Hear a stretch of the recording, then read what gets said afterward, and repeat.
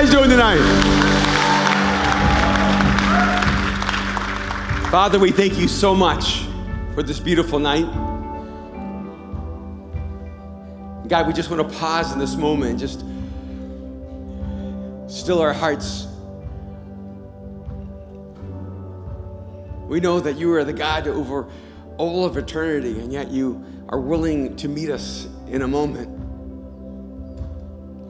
So, God, we step into this moment. We want to lean into every opportunity, every possibility of what you have in mind. Father, I, I want to pray for those who are here that maybe they're not even sure why they're here. They came because a friend invited them, or maybe it was just an unexpected, spontaneous decision, and they're not even sure if you exist. They're not sure if Jesus is who he says he is. They're not sure about this whole God faith thing. I just pray that you would, you would just wrap them up in your love, God, that you would just make yourself known to them and God, I don't care if they hear a single word I say. I pray that they would hear your voice speak to them and tell them that you love them and that they matter, that you are here for them. God, for the, for the rest of us in this room,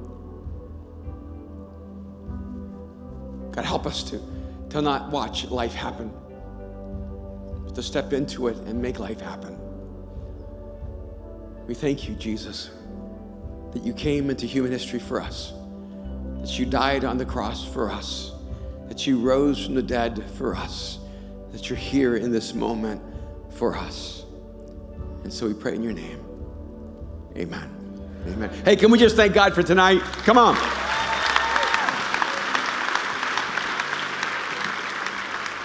You can have a seat. So, we've been diving in for the past several weeks into the content of Chasing Daylight. And we've been specifically focusing on how to seize the power of divine moments, how to identify those defining moments in our life and step into them in such a way that it gives us the momentum for the life we long for. We've been building this out of a story in the scriptures where Saul is king and Jonathan is his son. It's a moment where they face overwhelming odds. It's a moment of conflict it's an ominous moment where Saul knows that there's not a chance in the world they can win the battle they're about to step into in their own strength. So he decides to pull back. He decides to just let life happen. He decides to, to avoid the reality of the future that is waiting for him. And he goes to sleep, but in the middle of the night, his son, Jonathan, either wakes up or just gets up. And he wakes up his armor bearer and he says to him, Let's go pick a fight. And, and this is the moment that we've stepped into to see that two people can be in the same moment and come out of it with two different futures. You may have moments in your life that you thought were mundane, that you thought were meaningless, that you thought were empty and void of anything significant. But that same moment for someone else was filled with opportunity and possibility. And the great danger in life is to watch life happen rather than to make life happen. And so, as we dive into the specific section that we're in right now, I'm going to fold together two large thoughts. Because in chapter five, we talk about risk, that you need to live before you die, and vice versa. That you're going to have a decision to make in your life. You're going to either live a life of risk or live a life of regret. And we pick up here in 1 Samuel 14, verse 8, and it says, Jonathan said to his armor bearer, Come on then. We will cross over toward them and let them see us. If they say to us, Wait there until we come to you, we will stay where we are and not go up to them. But if they say, Come up to us, we will climb up because that will be our sign that the Lord is giving them into our hands. Now, right before this, when Jonathan wakes up his armor, he says to him, Let's go pick a fight. Maybe God will help. Now, that's not the most inspiring speech I've ever heard. Because if you're going to go fight an army 10,000 to 1 odds against you, you should pretty much know, right? That God's going to help. And so if you're the armor bearer and you're hearing this as a motivational speech, let's go pick a fight, maybe God will help us. I think I'd say, you know what? Go back to sleep. Wake me when you know. Now, it's not bad enough that Jonathan isn't sure if God's actually going to help them in this moment. His strategy is the worst strategy I've ever seen in my life. I don't have to study the, the thinking of Patton or Eisenhower or Churchill to know this just doesn't work. Jonathan says, Come on then, we will cross over toward them and let them see us. That's the worst strategy I've ever heard. See, I think even as an armor bearer, even as an unexperienced warrior, I'd go, I think that's not a good idea. I think we should not let them see us. I think since we're going, since we're going out in the dark of night, let's stay in the dark of night. And let's sort of sneak up on them and let's try not to let them see us. Let's not even let them hear us. Let's not let them know we're there. Maybe we'll live a little longer. What do you mean, let them see us? Clearly, Jonathan was not thinking strategically. There was a different framework he was working from. See, Jonathan understood that what he was about to do, he could not do in his own strength. He knew that this journey was not a journey he could ever travel alone. See, there are places you can go in your life that you can go without God. But there, there is a life waiting for you that you cannot dive into, you cannot step into without God in your life. He says, let's step across this line and let's let them see us.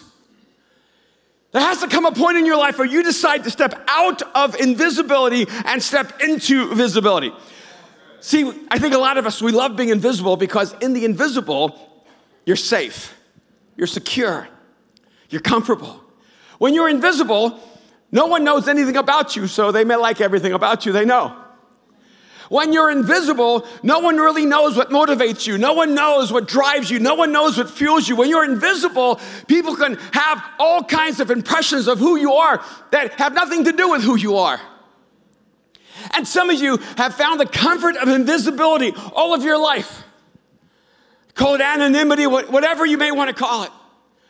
But you see, I know a lot of times invisibility is a great place because people really like you when you're invisible. It's when you become visible that you become a problem. It's when you become visible that you get criticized. It's when you become visible that you receive critique. It's when you become visible that judgment comes. And, and some of you may be the most amazing people in the world. And, and people look at you and go, they're, they're just, he's awesome.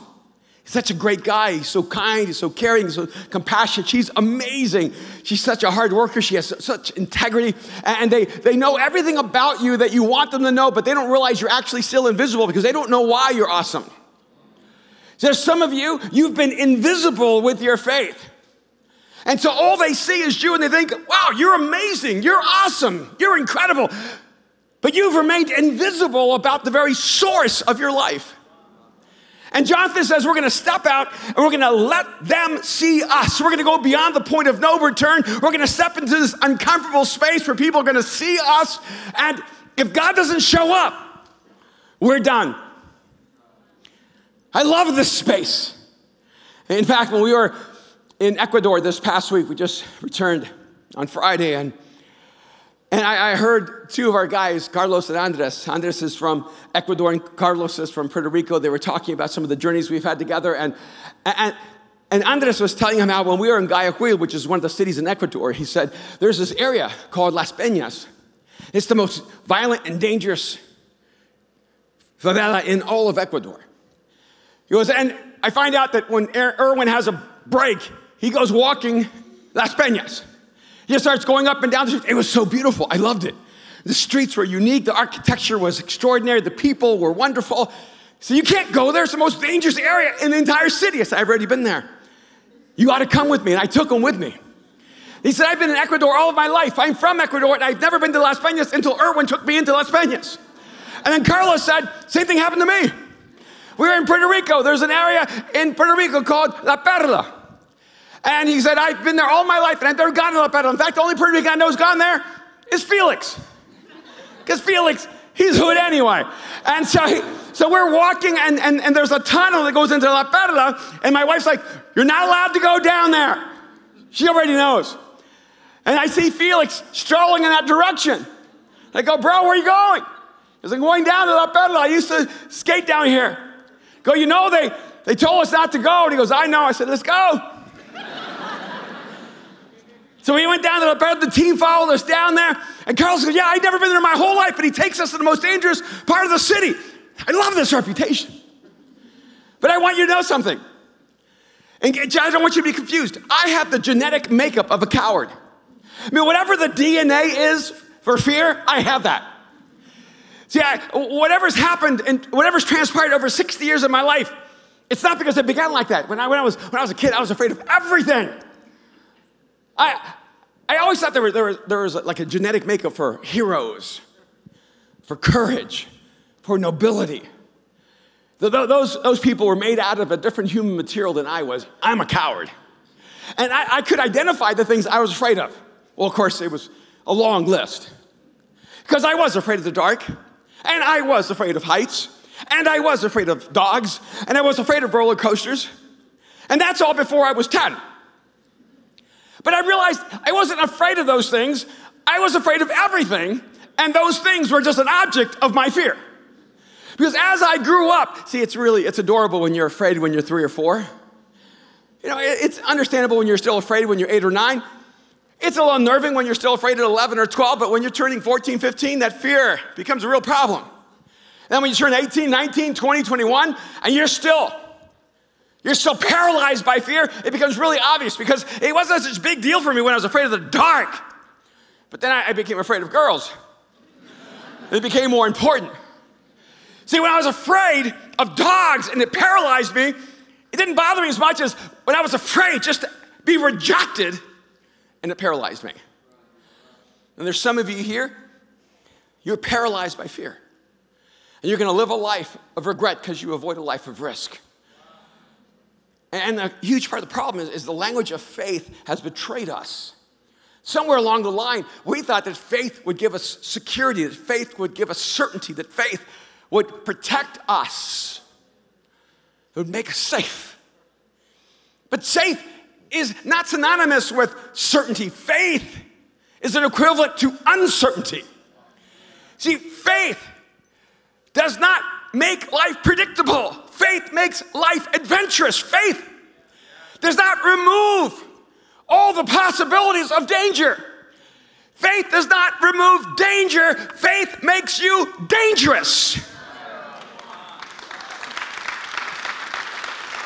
So if you're gonna step in the moments that God has for you, you have to decide I'm not gonna live a life of regret. I'm gonna choose a life of risk. I'm gonna let them see me. I'm gonna cross the line of faith. I'm gonna step out of the invisible into the visible. There's some of you here. You've been hiding, you've been hiding, you've been hiding. And you're wondering, why doesn't God show up in my life? If you want God to be visible in your life, you need to show up and be visible in your life too. I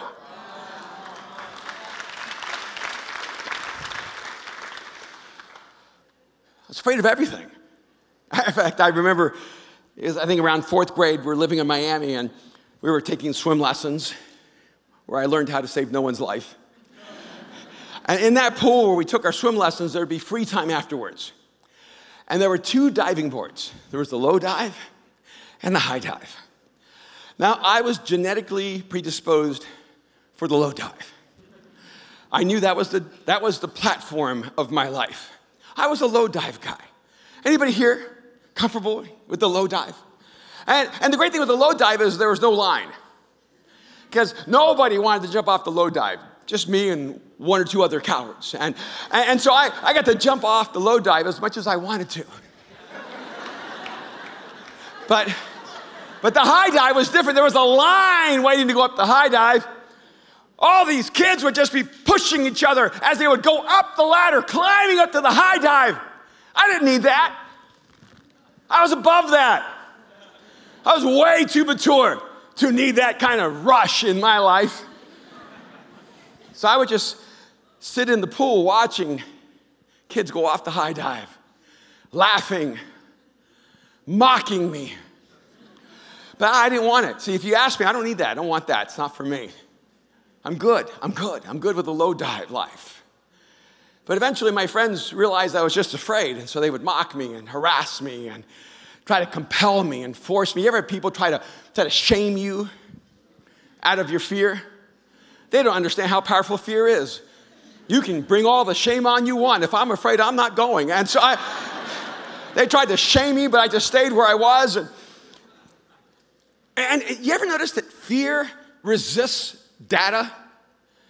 You would think that empirical data would help you overcome fear, but it doesn't.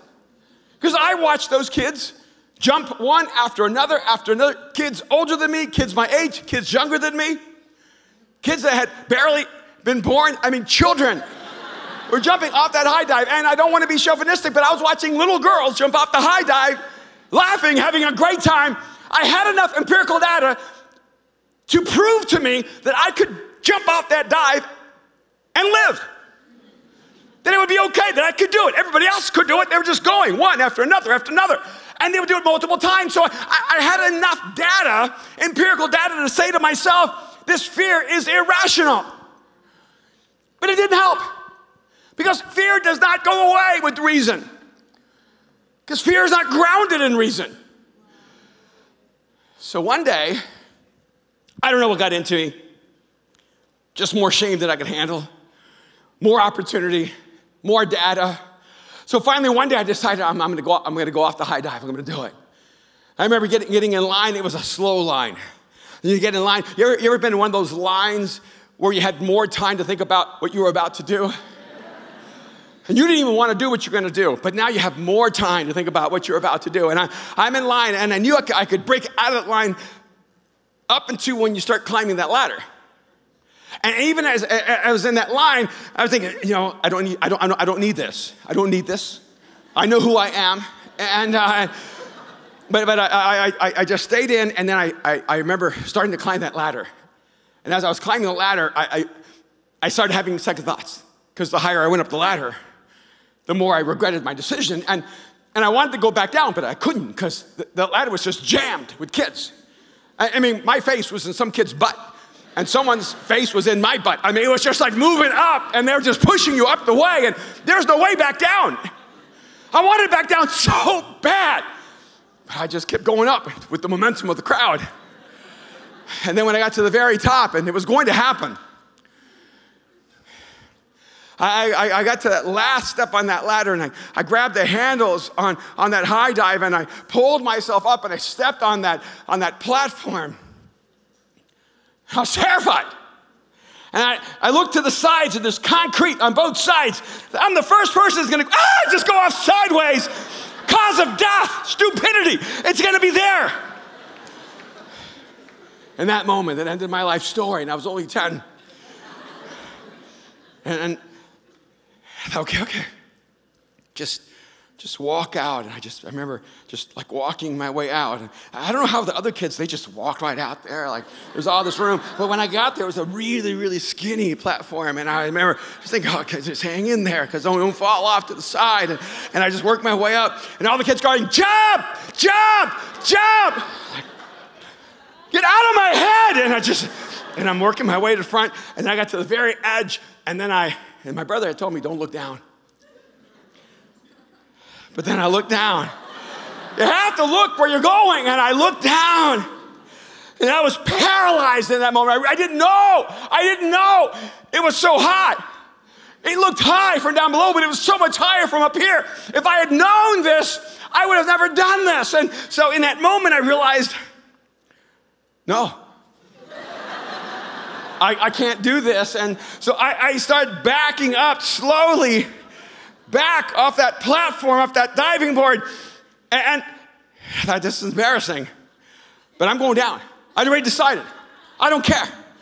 I, I know there are all these kids waiting on the ladder, but I'm going to just make them all move. I'm just going to go, excuse me, excuse me. Excuse, I'm going to be polite, but I'm going to just force my way back down.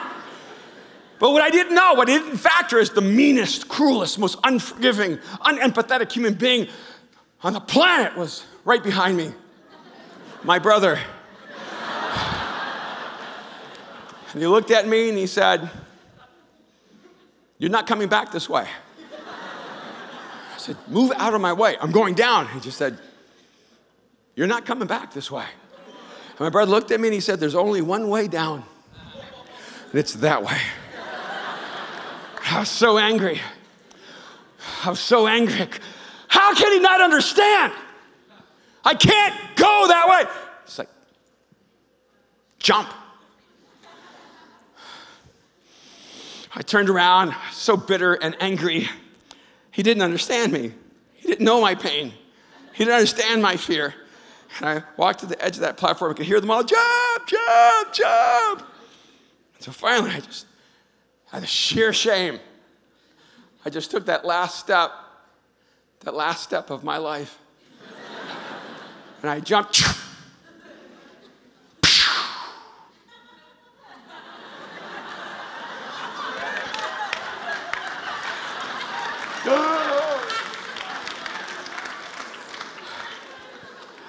And I lived. I was alive. I felt so alive. I got this. I'm no longer a low dive, I'm a high dive. But I think a lot of us, we keep wondering why God doesn't show up in our life. And it's because when we're retreating, He's standing in the way saying, We can't go back this way. Then we become angry with God. God, why are you showing up in my life? Why aren't you helping me? God, why are you letting this be so hard? You ever just been mad at God because He made your life too hard? You ever mad at Him because He didn't make your success easier? You ever mad at God because He put you on the high dive and then when you were too afraid, you wanted to go back and God said, You're not going back this way? Some of you are actually bitter and angry with God because He refuses to let you be a low dive and He's calling you to be a high dive.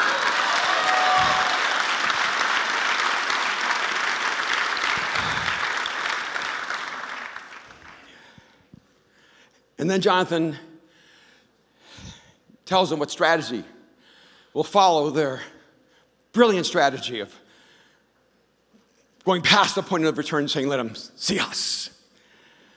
He says in verse 9, If they say to us, Wait there until we come to you, we will stay where we are and not go up to them. In other words, when the Philistines see us, if they see us and say, Wait there, we're going to come to you, and we're going to just stand here and we're going to die. Because that will be a sign that things aren't going to go well. And then he says, But if they say, Come up to us, we will climb up, because that will be our sign that the Lord has given them into our hands. See, they're walking through two cliffs. The Philistines are on the top of the cliff. If you know anything about military strategy, you know the high ground is the significant advantage. And if the Philistines had been foolish enough to say, Wait there, we're gonna come and engage you in battle. I mean, that's what guys do. They always tell you ahead of time what they're gonna do. If the Philistines had started climbing down that cliff, Jonathan could have picked them off one at a time. Because when they're climbing down the cliff, they couldn't use their swords. That would have seemed to be the better approach. But he says, if we're told to wait, we're just gonna stay here and die like men. I think it's interesting that so many people of faith love the word wait. How in the world have we centered around the word wait rather than the word faith? Oh, wait in the Lord, wait in the Lord, wait in the Lord, because you're so fast. You're always having to let God catch up with you. See, the reality is that for Jonathan, he knew God was moving faster than him. He knew that the way God worked in history was He moves with those who move. He says, But if they say, Come up to us, that will be our sign. And we'll climb up. We'll climb up the cliff because we know that God's given us the victory. This is insane. And in fact, it goes on. It says, Then Jonathan and his armor bearer. Now, stop for a minute, because if you think of the Bible as a sacred text, Every word matters. And, and, they use an entire sentence to tell us this Jonathan and his arm bearer climbed up using their hands and feet. Oh, I thought they would use their upper lip. I, I thought he was climbing up, just all upper lip, saving his arms and feet for a later moment. Uh, why does he even bother to tell us that? It's because he wants us to know that when they're climbing up that cliff, they are completely vulnerable. They are defenseless, except God be their defense. And as they climb up that mountain, and right before they climbed, the Philistines did see them. And they said, Look, they're the Hebrew dogs. Wander around in the night. Come up here and we'll teach you a lesson. See, that's the moment you kind of run for your life. And Jonathan goes, Can you feel it? this is this is like incredible. This is one of those goosebump moments. God has shown up, and the armor bearer is going. I don't, I don't, I don't, I don't know if that's God. I think those are really angry, large Philistines telling us, "Come up and die." Goes, "No, you can't see it because see, Jonathan had what I would call an advance mentality." And, and this is really what I want to talk to you about just for a few moments. See, once you step into risk and you decide to live a life of risk rather than regret, you have to advance. You have to change your mind about the way God works in life. You need to go unless you get a no. See, I think a lot of us, we're just paralyzed waiting for God to tell us what to do. And so we don't do anything. It's odd. We keep waiting for a yes rather than a no. But, but see, God's already given you a big yes. He said, go. In fact, that's what Jesus told his early followers. He said, go. He wasn't really very specific. In fact, he said, go. Take over the entire planet. Start wherever you want. Just go. Start where you are and keep going all the way out and transform the course of human history. I think a lot of us keep waiting for a go. And so we act as if our entire life is a no. But I want you to realize that God has already given you the go. So just say yes. Just move. Say, if they say, come up, this will be our sign from God. I want you to know that God is already calling you out. He's already calling you forward. He's already given you permission to live the life you're created to live. You don't have to wait for a yes. You don't have to wait for a go. Just get going. But then you go, yeah, but going doing what? Anybody paralyzed? I'm willing to do whatever God wants me to do, but I just don't know what He wants me to do. Anybody been there? What is God's will for my life? So I'm going to give you two verses that will answer that question for the rest of your life. Do you want them? It's in Philippians chapter 4, beginning in verse 8. I'm going to read this twice. The first time, the way We've been taught to hear it, and the second time, the way I need you to hear it. Verse 8 answers the question what should you think about? Where should you let your mind go? Where should you let your imagination run? Finally, brothers and sisters, whatever is true, whatever is noble, whatever is right, whatever is pure, whatever is lovely, whatever is admirable, if anything is excellent or praiseworthy, think about such things. And so what we end up doing is we end up using this as a filter. Okay, whatever, whatever's true, noble, right, pure, lovely, admirable, this is the list. Now, now, if I can just, just pare down with all of those, I'll finally know what God's will for my life is. See, I think a lot of us act like God's will is this tightrope. God wants me to do this, and then He wants me to do this, and I don't know what to do now, so I'm gonna spend the rest of my life awkwardly balanced on this tightrope. Don't wanna fall! But here's the crazy thing you see, your life outside of God is actually a tightrope. Because when you live your life outside of God, your choices get smaller and smaller and smaller. So I want to read it to you the way I think it must be read. Finally, brothers and sisters, what should I think about? Whatever. Whatever is true. Whatever is noble. Whatever is right whatever is pure, whatever is lovely, whatever is admirable. He said, What should you think about? Whatever you want. Pick anything that's beautiful and true and good and think about it. You see, when you step into a relationship with the creator of the universe, your imagination has permission to expand. I was so angry by the violence this week. My, my heart just broke for this senseless act of violence in Pittsburgh, the synagogue. It just reminded me that, that violence is the action of small minded people with hardened hearts. See, violence, hatred, racism, jealousy, envy, greed, that's all been done. There's nothing creative about that. You want to be like everyone else? Choose that path. That's the smallest path a human being can take, and it makes you the smallest human you can be. He says, No, there's so much room. Do you know how many things are true? So many things are true. Just pick a truth. You know how many things are noble? You could choose your own nobility. You know how many things are pure? How many things are lovely? Oh, so many things are lovely. Just pick a lovely thing, pick a beautiful thing and create it. What should I do with my life? Create something beautiful. But what? Whatever beautiful thing you can create. Whatever is admirable. How many things are there to admire? I admire so many things and so many people. Says, just whatever you admire, think about those. My imagination could run wild for all of eternity thinking about admirable and lovely and pure and right and noble and true things. Some of you are like, yeah, but that's what we should think about, but what should we do? Oh, I'm glad you asked. Because the very next verse gives you the answer. What should we do? Whatever. yeah, but specifically, what does God want me to do? Oh, let's just pop back up since you didn't get it the first time. If anything, I love how specific anything is. If anything is excellent or praiseworthy, think about such things.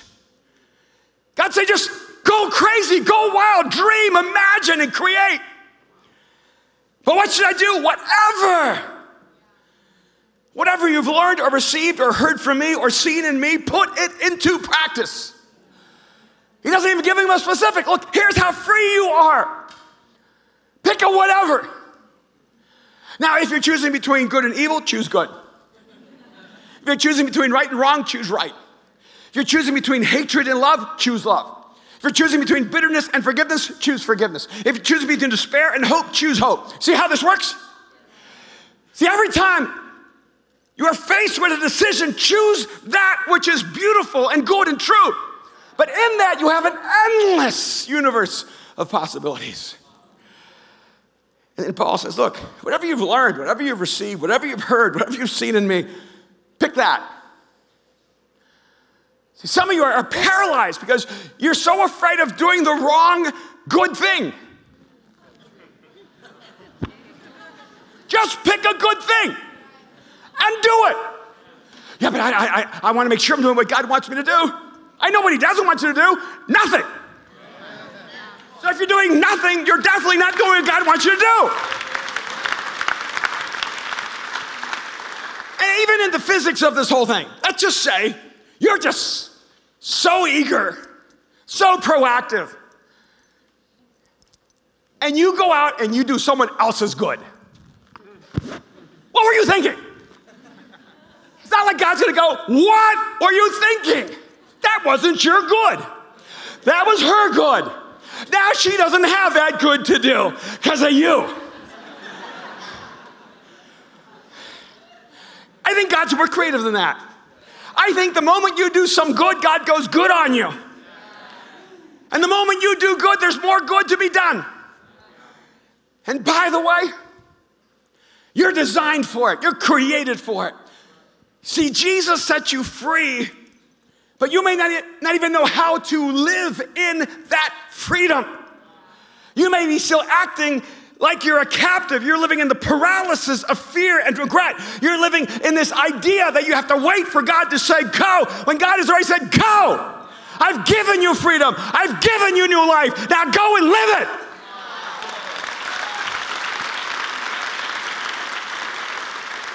It makes me mad when people without God live as if they have more freedom than people with God. It doesn't make me mad at the people without God. It makes me mad at the people with God because you're the freest person on this planet. And if you're a captive, it's on you. You built yourself, you locked yourself in, you threw away the key. So stop living in fear. Stop being paralyzed by what you don't know. And just pick a good and do it.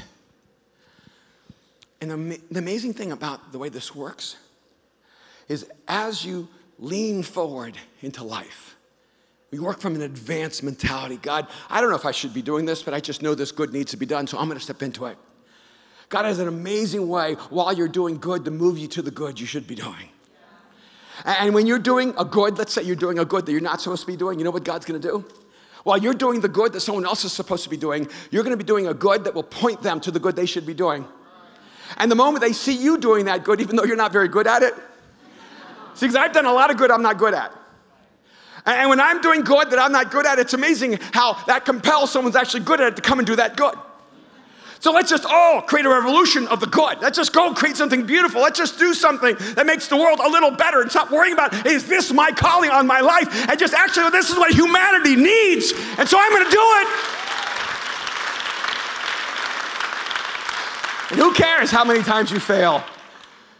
Who cares how many times it doesn't work out? Who cares how many times someone else looks at you and says, Yeah, I knew that you were not going to succeed? It's easy for someone watching life to judge yours. People who are living life just don't have time to judge someone else's. And so, if you want to know what God's will for your life is, it's whatever. I hope that sets you free. I can think about whatever as long as it makes the world better. I can do whatever as long as I created good in the world. I am so free to do whatever I want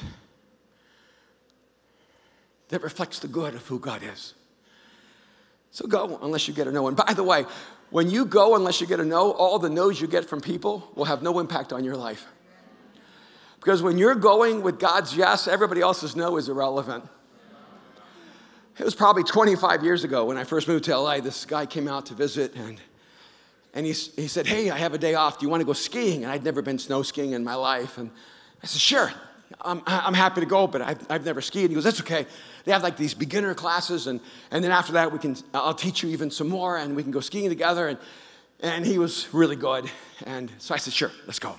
So we drove up to Big Bear, and and I was excited. I was excited to go skiing. I thought it'd be really a beautiful experience. And, and I went and rented my skis and all my equipment. And then I got into my, um, my beginner's class with all the 11 year olds. And, uh, and there I was either with very short people or children. I'm not sure which one. And, and so there we were learning how to ski. And I realized they don't teach you how to ski in that first lesson. They teach you how to stand up and they teach you how to fall without getting injured. That's really the only thing they teach you. They don't teach you that whatever that is, that slushing thing. That thing where you look like James Bond. You know, see, see how much I know about skiing? And, and they don't teach you how to stop because they don't think you're actually going to go. There's really no need to teach you how to stop. You're going so slow, you just sort of, you don't stop, you slow. So after my 15, 20 minute class, my friend came over and said, Hey, you ready to go? And I said, Sure. And, and I said, Now, now they told me like there's these different like signs, and I, I need to stay at what's called like a green circle.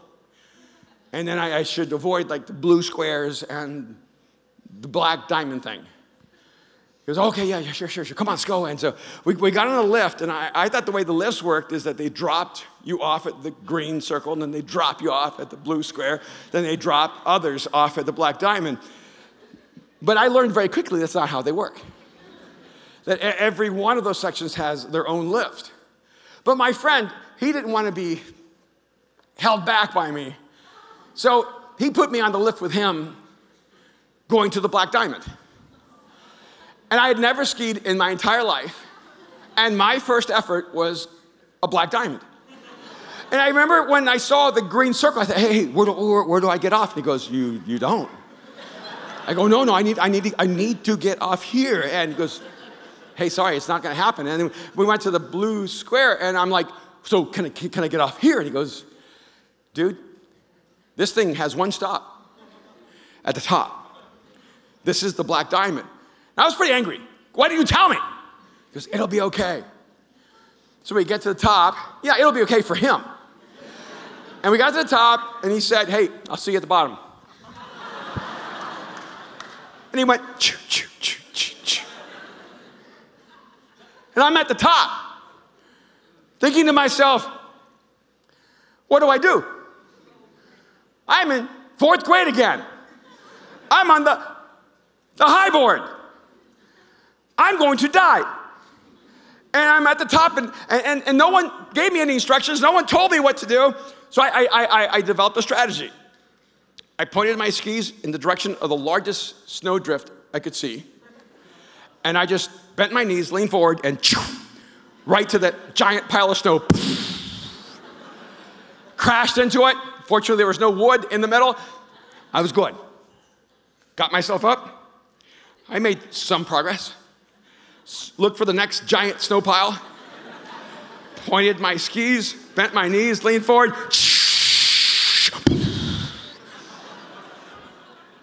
Did that three times, working my way down the mountain. Choose a place to explode and go. About the third one, I was somewhere between the black diamond and I could see the, the blue squares down below. And I thought, I don't know if I can take one more hit. I'm pretty winded. And so I, uh, I worked my way to the middle so that I could be in the middle so I wouldn't hit a tree. Because if there's a tree in front of me, one of us has to move and it won't be me. And, uh, and so I set myself in the middle while all these people were skiing. Out of the way! You could tell that guy's from LA. And, uh, and then I just I remembered lean forward, lean forward. So I bent my knees and I started leaning forward. And then it's like my face was like plastic. It was just going back. I didn't know how to slow down. I didn't know how to do the sideways thing. I was just holding on to my sticks. What are those sticks for? And I'm just going, I'm going all the way down that mountain. I'm leaving all those people in the dust as they're just choo, choo, choo, bam. I'm going all the way down that mountain. I'm holding on. Don't fall. Lean forward. And I came down, and there was this, this patio made with logs, and it had some ice on it. I'm hitting on the logs, and I go all the way, ski right into the deck of the restaurant with people everywhere eating food, watching me.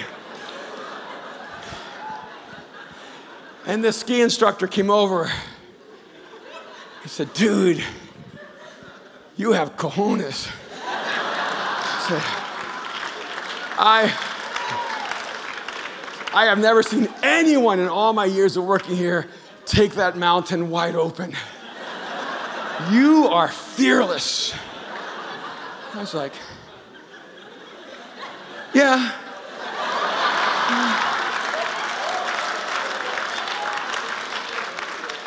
That's how I roll.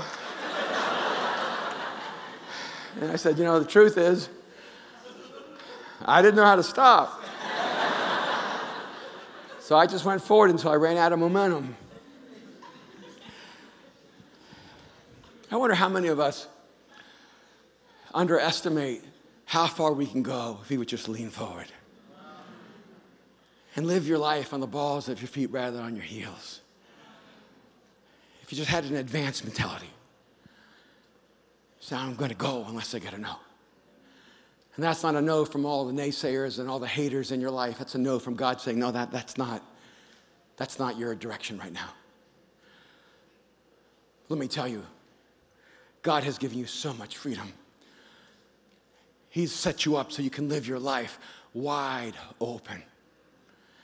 And it's a strange thing because the rest of that day I didn't do greens. They just seemed way, way too tame. I did a lot of blues for the rest of the afternoon. And right before we left, he said, Hey, you ready to go? I said, Nah, I'm not ready quite yet.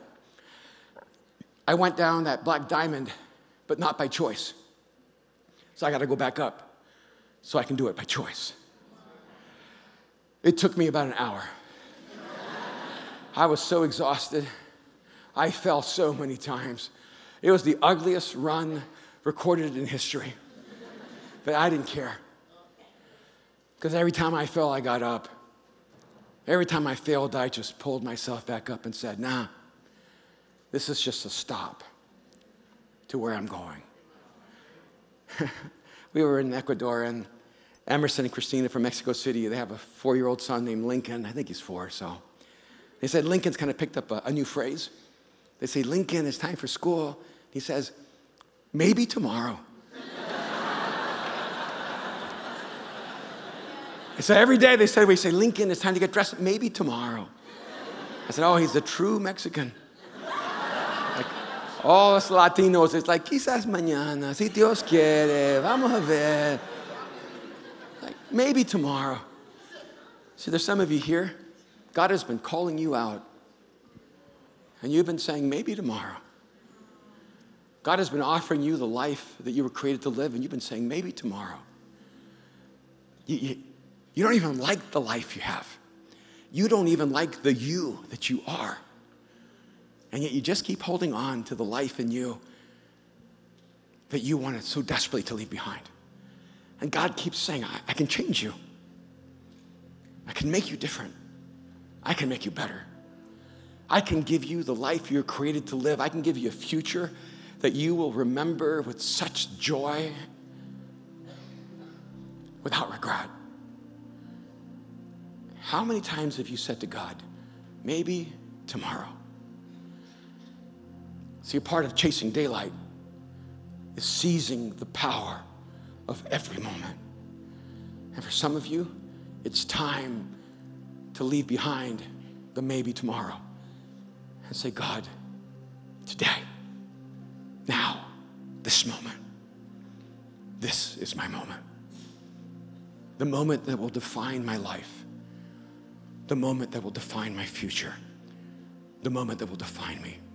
It's time to step out of the invisible into the visible, to give your life to Jesus, and to live for Him in such a way that you risk letting other people see what Jesus is doing in you. Would you bow your heads with me just for a moment? Just close your eyes. Just take a moment. Take a moment. But take this moment.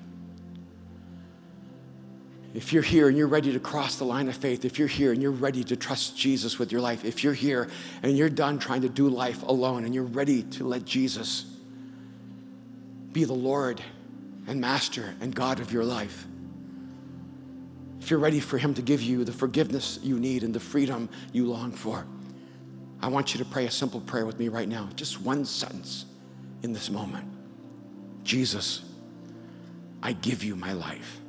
That's it, right now. Just tell him, Jesus, I give you my life. Not tomorrow, not maybe tomorrow, right now. Just tell him, Jesus, I give you my life. Because if you'll give him your life, you'll receive the life he died to give you. This moment, Step out of the invisible into the visible. This moment, seize your divine moment. This moment. Open your life to Jesus. Jesus, I give you my life. If you just prayed that prayer, if you just crossed the line of faith, if you just stepped into that space where you now belong to Jesus, you received his forgiveness and your freedom, I want to pray for you. But I want you to make a decision right now to step out of the invisible and become visible. You just confessed, you just pray, Jesus, I give you my life, but I want you right now just to make a decision to be visible. And I'm gonna pray for you. But right now, what I want you to do is I want you to raise your hand if you just prayed that prayer. Right now, step out of the invisible and become visible right now. Right now, just take this, this step of faith right now. Just come out of the invisible and become visible. Right now, just raise your hand and say, Yes, I just gave my life to Jesus. Yes, I just prayed, Jesus, I give you my life. Beautiful, beautiful. Wonderful. So many people all over the room. Anyone else right now? Beautiful. Anyone else? Jesus, I give you my life. Father, I thank you for all the women and men who in this moment have opened up their lives to you. God, I thank you that they just moved from the invisible to the visible. They crossed the line of faith. And I just pray that right now, God, you would just wrap them up in your love and let them know they belong to you. That you will never leave them or abandon them. That you've placed your life in them. There's a new future for them, a new life for them, a new hope for them.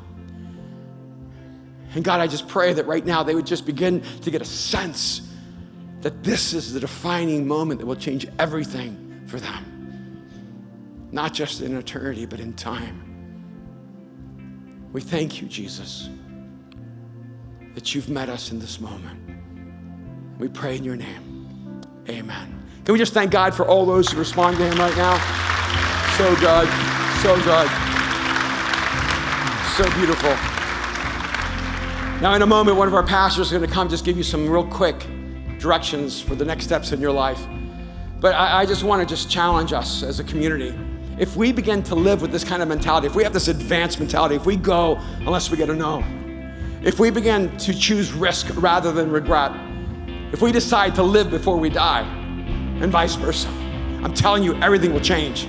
So this week, I want you to make some decisions. I want you to come out of the invisible into the visible. I want you to take a risk with some people in your life.